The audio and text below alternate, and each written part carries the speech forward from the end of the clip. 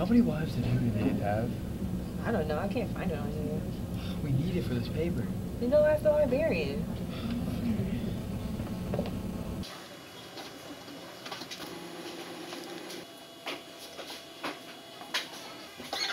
Dude, have you seen the librarian? No, dude. Hey, asklibrarian.org. That's all I need. Yeah, I know where we can go. Where do you go? AskALibrarian.org. You can talk with a librarian live and get the answers you need.